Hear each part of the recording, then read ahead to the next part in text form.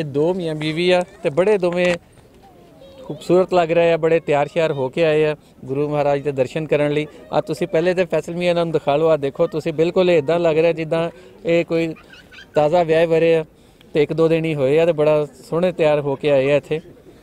ਤੇ ਅੱਛਾ ਦੱਸੋ ਜੀ ਕੀ ਨਾਂ ਤੁਹਾਡਾ ਤੇ ਕਿੱਥੋਂ ਆਏ ਹੋ? ਮੇਰਾ ਨਾਮ ਰਚਨਬੀਰ ਸਿੰਘ ਸਬਰਵਾਲ ਹੈ। ਮੈਂ ਚੰਡੀਗੜ੍ਹ ਪੰਜਾਬ ਯੂਟੀ ਤੋਂ ਆਇਆ ਮੈਂ ਸਾਨੂੰ ਇੱਥੇ ਆ ਕੇ ਬਹੁਤ ਹੀ ਖੁਸ਼ ਹੋਏ ਹਾਂ ਅਸੀਂ, ਸਾਡਾ ਬੜਾ ਦਿਲ ਖੁਸ਼ ਹੋਇਆ ਇੱਥੇ ਆ ਕੇ। ਜੋ ਸਾਨੂੰ ਪਿਆਰ ਇੱਥੇ ਦੀ ਸੰਗਤ ਨੇ, ਇੱਥੇ ਦੇ ਲੋਕਾਂ ਨੇ ਆਵਾਮ ਨੇ ਦਿੱਤਾ ਹੈਗਾ, ਉਹ ਅਸੀਂ ਇੱਥੋਂ ਮੋੜ ਨਹੀਂ ਸਕਦੇ ਕਿਤੇ ਵੀ ਜਾ ਕੇ। ਤੇ ਜਿਹੜੀ ਜਿਹੜੀ ਸਾਡੀ ਇੱਕ ਅਰਦਾਸ ਸੀ, ਕੌਮ ਦੀ ਆਪਣੀ ਸੀ 72 ਸਾਲ ਤੋਂ ਅਸੀਂ ਤੜਫ ਰਹੇ ਸੀ ਕਿ ਸਾਡੇ ਗੁਰਧਾਮ ਜਿਹੜੇ ਸਿੱਖੇ ਦੇ ਹੈਗੇ ਆ, ਸਿੱਖਾਂ ਦੇ ਆਪਣੇ, ਉਹ ਖੁੱਲੇ ਦਰਸ਼ਨ ਦੀਦਾਰ ਹੋਣ। ਉਹ ਪਰਮਾਤਮਾ ਨੇ ਸਾਡੀ ਸੁਣੀ। ਦੇਖੋ, ਗੱਲ ਇੱਥੇ ਮੁੱਕਦੀ ਆ ਕਰਕੇ ਜਦੋਂ ਅਸੀਂ ਪਰਮਾਤਮਾ ਅੱਗੇ, ਅੱਲਾ ਅੱਗੇ, ਵਾਹਿਗੁਰੂ ਅੱਗੇ ਅਸੀਂ ਅਰਦਾਸ ਮੰਗਦੇ ਹਾਂ। ਆਪਣੀ ਔਲਾਦ ਵਾਸਤੇ ਵੀ ਤਾਂ ਮੰਗਦੇ ਹਾਂ ਜੀ। ਹਰ ਦਰਗਾਹ ਤੇ ਜਾ ਕੇ ਨਖ ਰਗੜਦੇ ਹਾਂ, ਹਰ ਪਰਮਾਤਮਾ ਕੋਲ ਜਾਂਦੇ ਹਾਂ, ਜਦੋਂ ਕਿਸੇ ਦੀ ਨਹੀਂ ਹੁੰਦੀ ਔਲਾਦ। ਤੇ ਜੇ ਅਸੀਂ ਉਸ ਪਰਮਾਤਮਾ ਕੋਲ, ਅੱਲਾ ਕੋਲੋਂ, ਵਾਹਿਗੁਰੂ ਕੋਲੋਂ ਅਸੀਂ ਇੱਕ ਚੀਜ਼ ਮੰਗੀ ਹੈ 72 ਸਾਲ ਤੋਂ ਮੰਗਦੇ ਮੰਗਦੇ ਅੱਜ ਉਹ ਸਮਾਂ ਆਇਆ ਹੈ। ਸ਼ਾਇਦ ਸਰਕਾਰਾਂ ਨੂੰ ਵੀ ਥੋੜੀ ਜਿਹੀ ਅਕਲ ਆਈ ਹੈ ਆਪਸ ਵਿੱਚ। ਤੇ ਦੋਨੋਂ ਦਾ ਸ਼ੁਕਰਗੁਜ਼ਾਰ ਹੈਗਾ, ਦੋਨੋਂ ਕੰਟਰੀਆਂ ਦੇ ਸਰਕਾਰਾਂ ਦਾ ਸ਼ੁਕਰਗੁਜ਼ਾਰ ਹੈਗੀਆਂ ਕਿ ਜਿਨ੍ਹਾਂ ਨੇ ਬਹੁਤ ਸੋਹਣੇ ਮਾਹੌਲ ਦੇ ਵਿੱਚ ਇਹ ਚੀਜ਼ਾਂ ਖੋਲੀਆਂ ਤੇ ਅੱਗੋਂ ਵੀ ਇਹ ਖੁੱਲ ਜਾਣ ਔਰ ਅੱਛਾ ਪਿਆਰ ਵਧੇ ਸਾਰਿਆਂ ਦੇ ਵਿੱਚ, ਇਨਸਾਨੀਅਤ ਦੀ ਸਭ ਤੋਂ ਵੱਡੀ ਚੀਜ਼ ਹੈ। ਇਸ ਤੋਂ ਵੱਡੀ ਕੋਈ ਚੀਜ਼ ਨਹੀਂ ਹੈਗੀ ਹੈ। ਕਿਉਂਕਿ ਸਾਡੇ ਪੁਰਖੇ ਵੀ ਜਿਹੜੇ ਹੈਗੇ ਇੱਥੋਂ ਹੀ ਪਾਕਿਸਤਾਨ ਤੋਂ ਉੱਥੇ ਗਏ ਸੀ ਮਾਈਗ੍ਰੇਟ ਹੋ ਕਰਕੇ। ਤੇ ਸਾਨੂੰ ਉਹ ਦਿਲ 'ਚ ਰਹਿੰਦਾ ਇੱਕ ਚੀਜ਼ ਹੈ ਕਿ ਬਈ ਅਸੀਂ ਉਹ ਪੁਰਖਾਂ ਦੀ ਜਗ੍ਹਾ ਜਦੋਂ ਸੁਣਦੇ ਆ ਉਹਨਾਂ ਤੋਂ ਗੱਲਾਂ ਸੁਣਦੇ ਸੀ ਤੇ ਇਹ ਹੁੰਦਾ ਸੀ ਕਿ ਤੜਫ ਹੁੰਦੀ ਹੈ, ਅੱਜ ਵੀ ਹੁੰਦੀ ਹੈ ਤੜਫ ਕਿ ਬਈ ਉਹ ਜਾ ਕੇ ਧਰਤੀ ਤੇ ਚੁੰਮ ਕੇ ਤੇ ਆਈ ਹੈ ਜਾ ਕਰਕੇ। ਹੁਣ ਉਸ ਜਗ੍ਹਾ ਤੇ ਅਸੀਂ ਨਹੀਂ ਜਾ ਸਕਦੇ ਕਿਉਂਕਿ ਸਾਡਾ ਵਿਜ਼ਿਟ ਇੱਕ ਦਿਨ ਦਾ ਹੈ। ਜੇ ਪਰਮਾਤਮਾ ਅਗਰ ਖੋਲ ਦੇ ਤੇ ਅਸੀਂ ਆਪਣੇ ਪੁਰਖਾਂ ਵਾਲੀ ਜਗ੍ਹਾ ਤੇ ਵੀ ਜਾ ਕੇ ਚੁੰਮ ਕੇ ਆਈ ਮੱਥਾ ਟੇਕ ਕੇ ਆਈਏ ਦਰਸ਼ਨ ਦੀਦਾਰ ਕਰਕੇ ਆਈਏ ਉਹ ਕਿਵੇਂ ਰਹਿੰਦੇ ਸੀ ਕਿਵੇਂ ਦਾ ਪਿੰਡ ਸੀ ਕਿਵੇਂ ਜੇ ਲੋਕ ਸੀ ਉੱਥੇ ਕਿੱਦਾਂ ਦੇ ਸੀ ਵਿਵਹਾਰ ਸੀ ਸਾਡੀ ਰਿਸ਼ਤੇਦਾਰੀ ਕਿਵੇਂ ਸੀ ਇੱਕ ਭਾਈ ਬੰਦਗੀ ਨਾਲ। ਕਿਉਂਕਿ ਅਸੀਂ ਸੁਣਦੇ ਸੀ ਕਿ ਸਾਡੇ ਦਾਦਿਆਂ ਦੇ ਨਾਲ ਨਾਨਿਆਂ ਦੇ ਨਾਲ ਜਿਹੜਾ ਪੜੋਸੀ ਹੁੰਦਾ ਸੀ ਉਹ ਮੁਸਲਮਾਨ ਭਾਈ ਸੀ ਵਿਚਾਰੇ। ਜਿਨ੍ਹਾਂ ਨੂੰ ਸਾਡੇ ਨਾਨੇ ਦਾਦੇ ਉਹਨਾਂ ਦੇ ਬੱਚੇ ਅੱਗੋਂ ਸਾਡੇ ਮਦਰ ਫਾਦਰ ਚਾਚੀਆਂ ਦਾਦੀਆਂ ਕਹਿੰਦੀਆਂ ਸੀ ਮਾਮੀਆਂ ਕਹਿੰਦੇ ਸੀ ਉਹਨਾਂ ਨੂੰ। ਉਹ ਰਿਸ਼ਤੇ ਕਿੱਥੇ ਚਲੇ ਗਏ ਅੱਜ? ਉਹ ਰਿਸ਼ਤੇ ਸਾਡੇ ਕੋਲ ਦੂਰ ਹੋ ਗਏ। ਅਸੀਂ ਉਹ ਚਾਹੁੰਦੇ ਹਾਂ ਕਿ ਉਹ ਰਿਸ਼ਤੇ ਮੁੜ ਕੇ ਫਿਰ ਉਹਨਾਂ ਦੀ ਜਨਰੇਸ਼ਨ ਜਿਹੜੀ ਹੈ ਉਹ ਸਾਨੂੰ ਉਸ ਤਰ੍ਹਾਂ ਹੀ ਐਕਸੈਪਟ ਕਰੇ ਅਸੀਂ ਉਹਨਾਂ ਨੂੰ ਐਕਸੈਪਟ ਕਰੀਏ। ਸਾਡਾ ਪਿਆਰ ਇੱਥੇ ਆਂਦਾ ਸਾਰਾ।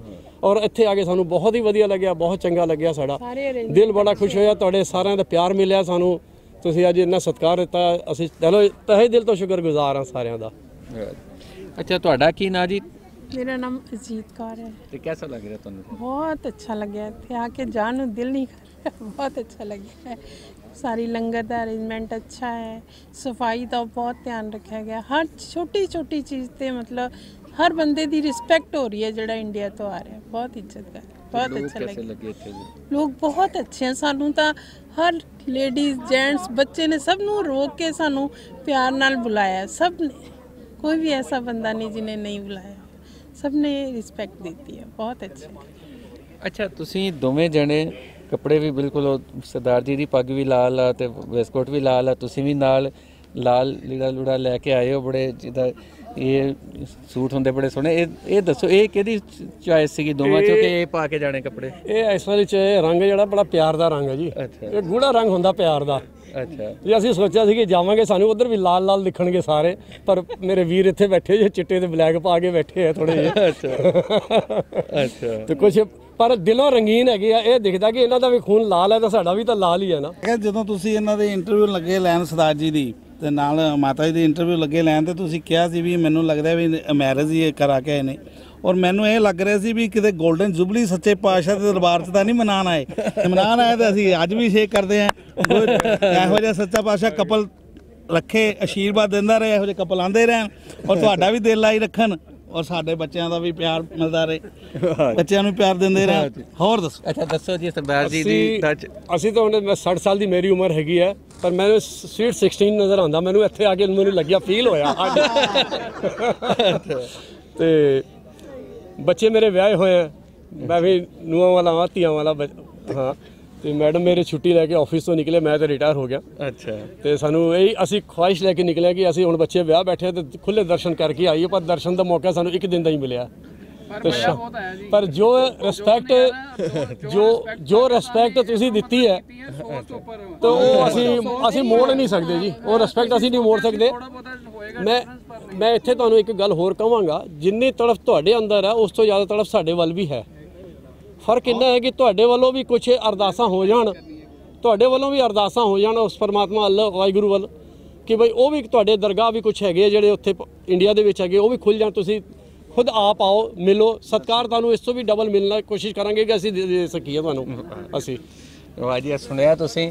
ਹੁਣ ਇਹਨਾਂ ਦਾ ਤੇ ਇਹੀ ਖਾਹਿਸ਼ ਆ ਕਿ ਥੋੜਾ ਜਿਹਾ ਵੀਜ਼ਾ ਲੱਭ ਜਾਵੇ ਕੋਈ 4 ਦਿਨ ਲੱਭ ਜਾਣ ਇੱਥੇ ਰਹਿਣ ਦੇ ਤੇ ਇੱਥੇ ਆ ਕੇ ਕਮ ਸ ਕਮ ਇਹ ਦੇਖ ਸਕਣ। ਅੱਛਾ ਹਾਂਜੀ ਦੱਸੋ ਜੀ। ਮੈਂ ਕਿਹਾ 15 ਦਿਨ ਦਾ ਟਾਈਮ ਦੇਣ ਸਾਨੂੰ ਤਾਂ ਹੀ ਅਸੀਂ ਪੂਰਾ ਪਾਕਿਸਤਾਨ ਘੁੰਮ ਸਕੀਏ ਮਤਲਬ। ਜੇ ਅਸੀਂ ਛੁੱਟੀ ਵੀ ਲਈਏ ਤਾਂ ਸਾਡੇ ਕੰਮ ਆਏ ਮਤਲਬ। ਹਾਂ। ਆਸਨੋ ਜੀ ਉਹਨਾਂ ਦਾ ਕਹਿਣਾ ਕਿ ਘੱਟੋ ਘੱਟ ਸਾਨੂੰ 15 ਦਿਨ ਦਾ ਟਾਈਮ ਮਿਲਣਾ ਚਾਹੀਦਾ ਕਿ ਅਸੀਂ ਆਈਏ ਤੇ ਇੱਥੇ ਦਰਬਾਰ ਸਾਹਿਬ ਦੇ ਦਰਸ਼ਨ ਤੇ ਕਰੀਏ ਬਾਕੀ ਜਾ ਕੇ ਬਾਕੀ ਪਾਕਿਸਤਾਨ ਵੀ ਘੁੰਮ ਸਕੀਏ ਬਾਕੀ ਗੁਰਦੁਆਰੇ ਵੀ ਤੇ ਦੂਜੇ ਪਾਸੇ ਵੀ ਜਾ ਸਕੀਏ। ਜੀ ਇੱਕ ਪਾਰਟ ਹੋ ਰਿਹਾ ਜਿਹੜੀ ਪਾਕਿਸਤਾਨ